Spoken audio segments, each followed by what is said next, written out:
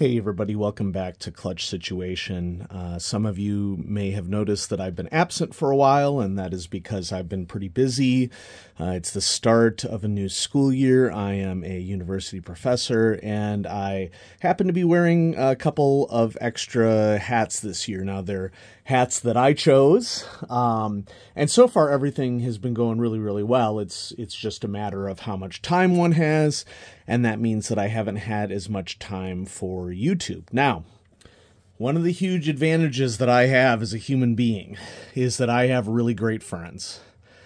Um, and I'm super grateful for my friends. And uh, one of my friends, my best friend, DJ, is a big supporter of the channel and of my endeavors. And uh, it's some time in the past on a video, apparently, I don't remember this, I had commented on the Kuru Toga dive and how it was a very popular pencil that had been released recently.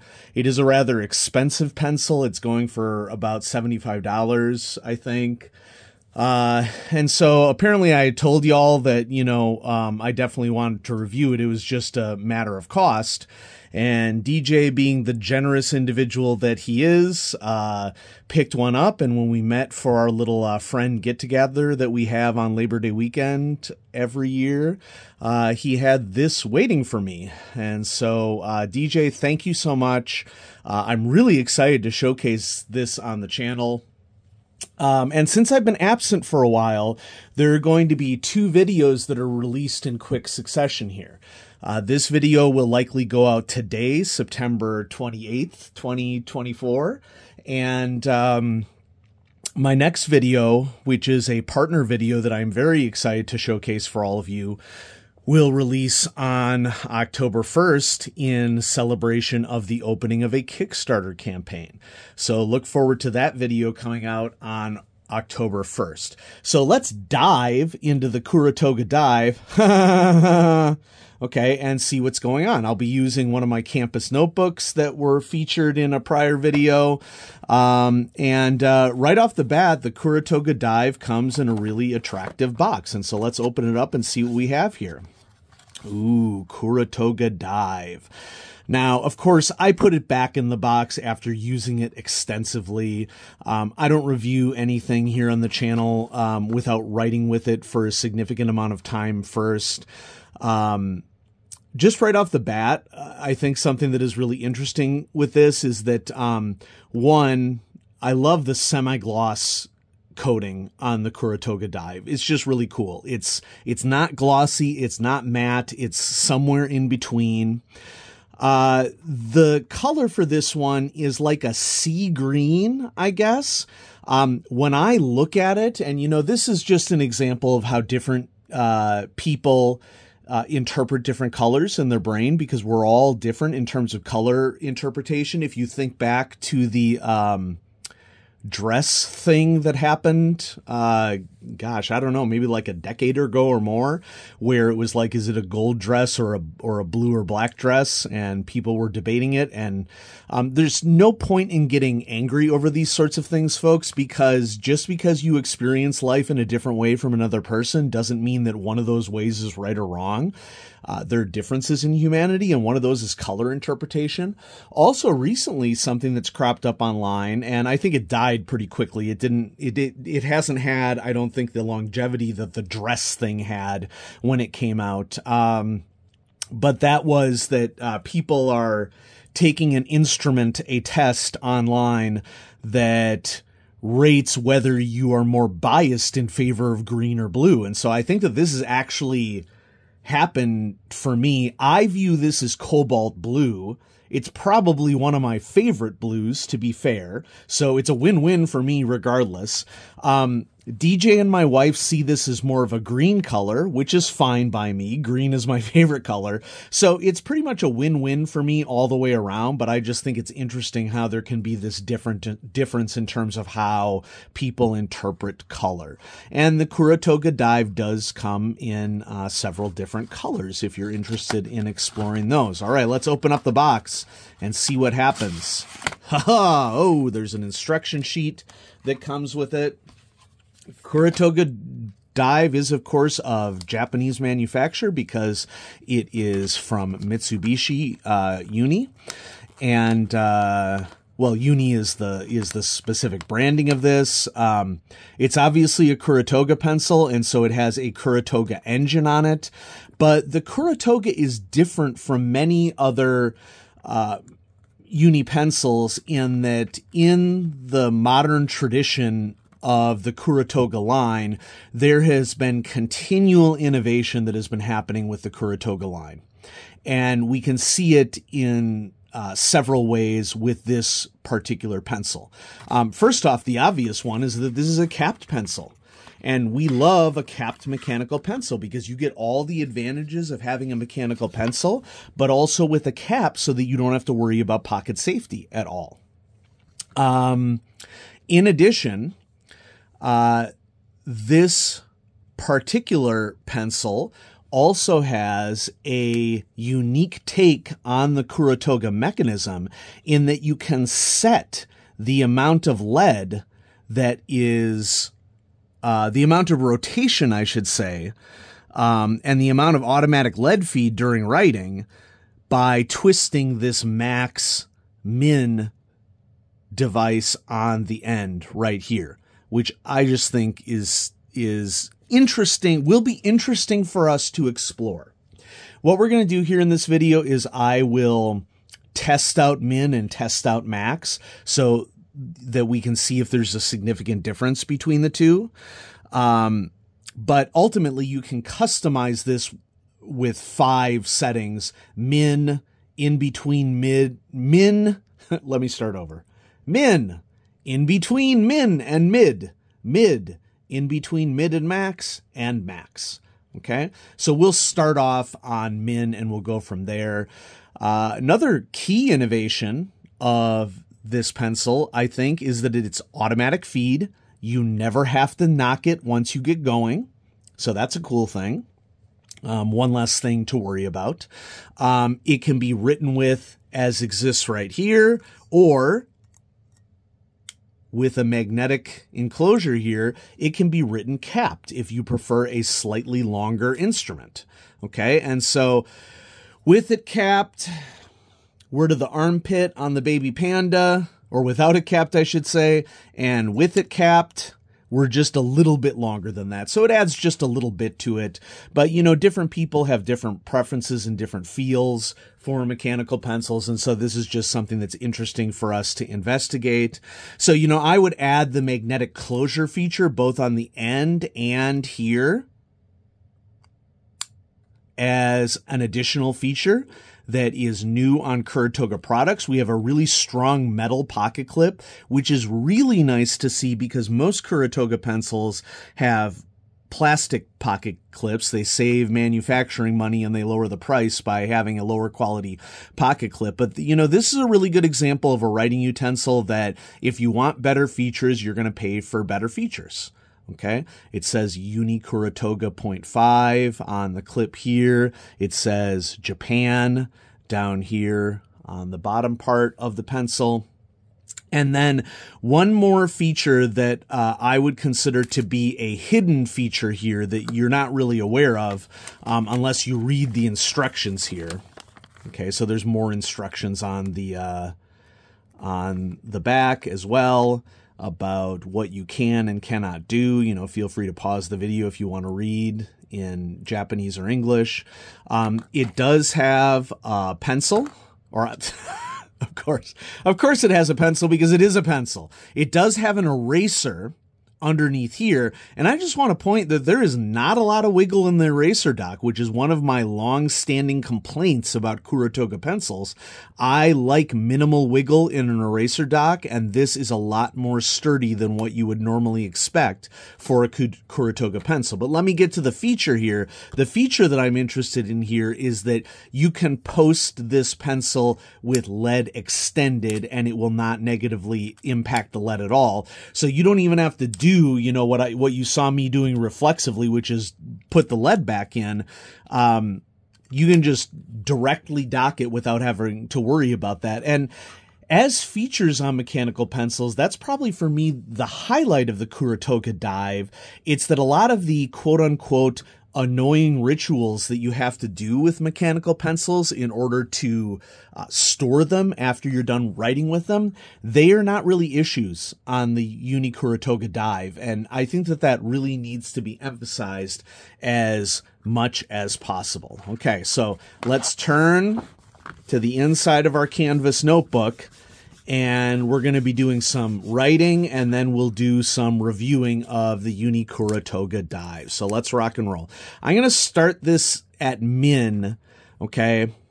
And we're going to go from there. Now, my uh uh my goal here is to try to do a comparison between min and max. And I don't know how well this is going to work. Okay. Um, it's not like I have a ruler on me or anything, but we do have the, um, uh, the grid here. And so what I'll do is I will probably mark off on the grid where we are at min or where we are on max to see if we can uh, note what the difference is. One thing that I discovered right here that I hadn't discovered before because it's auto advance is that you cannot knock the pencil when the cap is posted. So just keep that in mind. Okay. So I want to like start off at just like one click okay, and go from there. And so we're going to start with min. We just have one tiny little click, and we are going to compare min versus max in terms of lead rotation and advancement. Now, I wrote a little there, so we'll reset to one click, okay? And then we're going to do some writing. Okay, here we go. We ready? Gandalf the Grey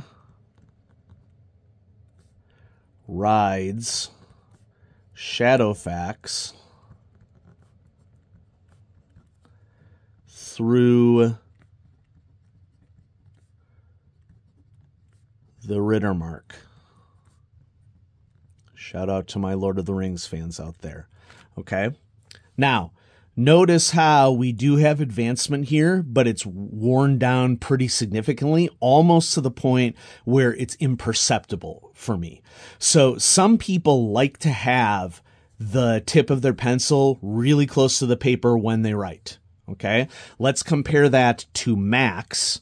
Okay. Whoops. I don't want to unscrew it. I just want to turn this, okay, to max.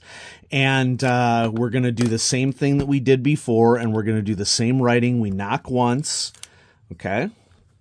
And so um, the advancement here was imperceptible. Let's do max now. Gandalf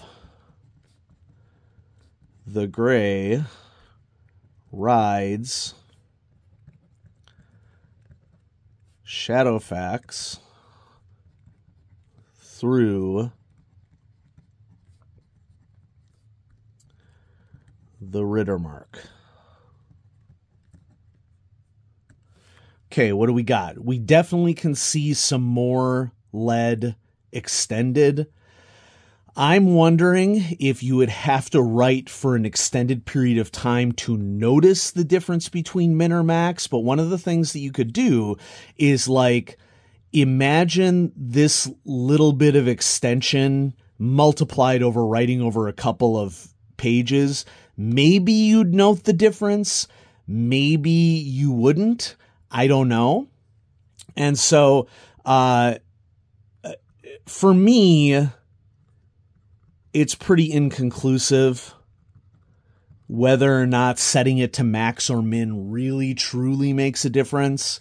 And, you know, I'll be honest with you, there are psychological factors for mechanical pencils. And maybe the mere existence of this potential uh, difference for lead rotation is enough for some people. Okay. I mean, it never hurts for a company to explore features um, am I convinced that it's a significant feature? No. Could it be a significant psychological feature? Maybe. Okay. So keep that in mind. Let's go ahead and review then the Uni Kuru Toga Dive 0.5 millimeter. Okay, and we have our standard array that we have here on clutch situation, uh, and that is writing experience.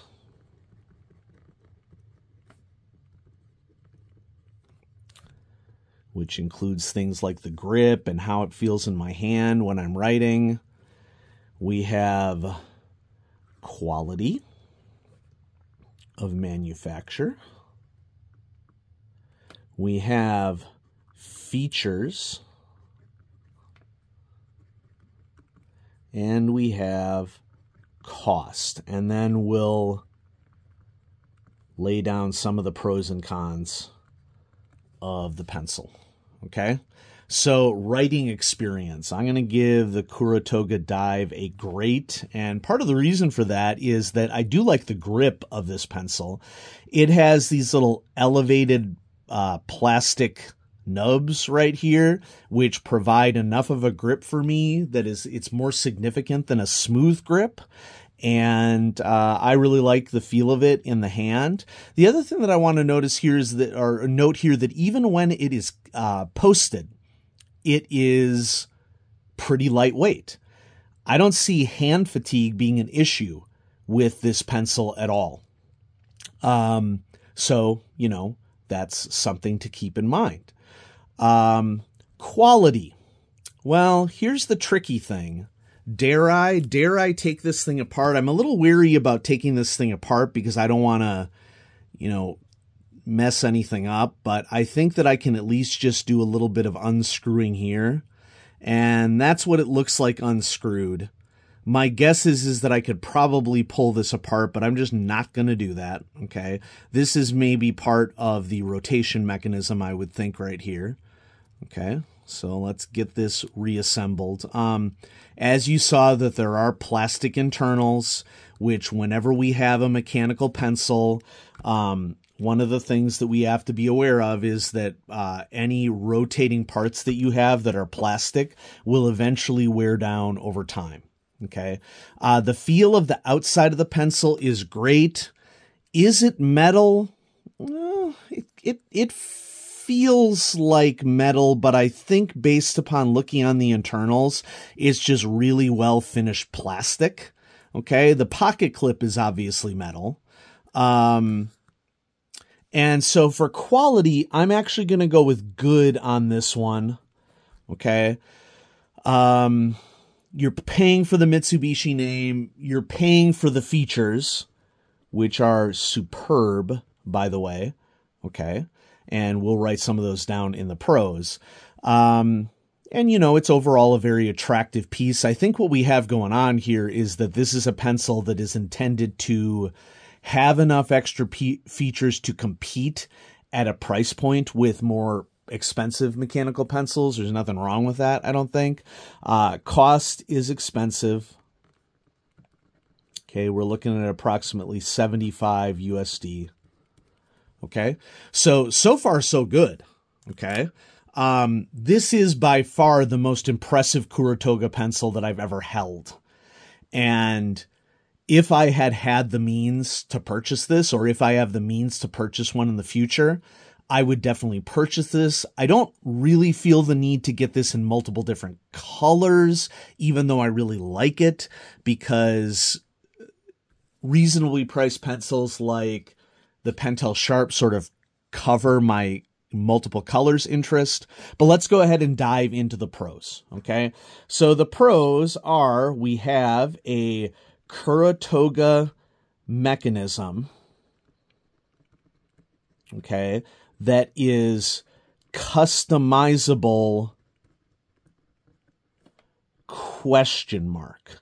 Okay, I do want to point out here that I've had this set at max, and it seems like it is significantly longer than just the short little test that we did up here. And so I'm wonder I'm wondering right now if longer tests are fairer. Okay. With regards to the lead extension mechanism, it does seem to work. Whether or not it's significant enough for you, that's a question. So I'm definitely going to list it as a pro because it does appear to work. And honestly, I'm already considering setting it at mid because that's a little bit longer than what I would like from lead breakage for lead breakage purposes. Okay. So we have a Kur- Kuru Toga mechanism. We have a good grip. Okay. With the little nubs. We have a strong metal. Whoops. See, there we go. Let's see if I can just keep writing even though lead broke. I can. Strong metal pocket clip. I am right up against the paper though. So I'm going to switch me to max to see if I can extend out a little bit more. Um, we have magnetic posting.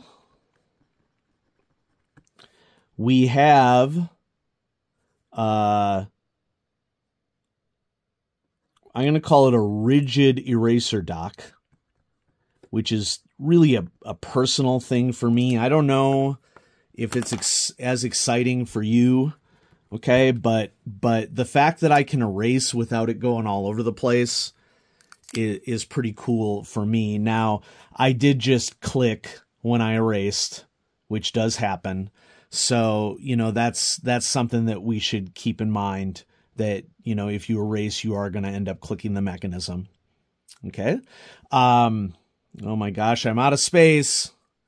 We're going to have to move cons down. That's okay because now I'm pretty sure this is a standard Kuru Toga eraser. And so what I love about this is that even if this tiny little eraser runs out pretty quickly, I'm going to be in a position to replace it with other Kuru Toga erasers pretty easily um, because I don't use my other Kuru Toga pencils as often.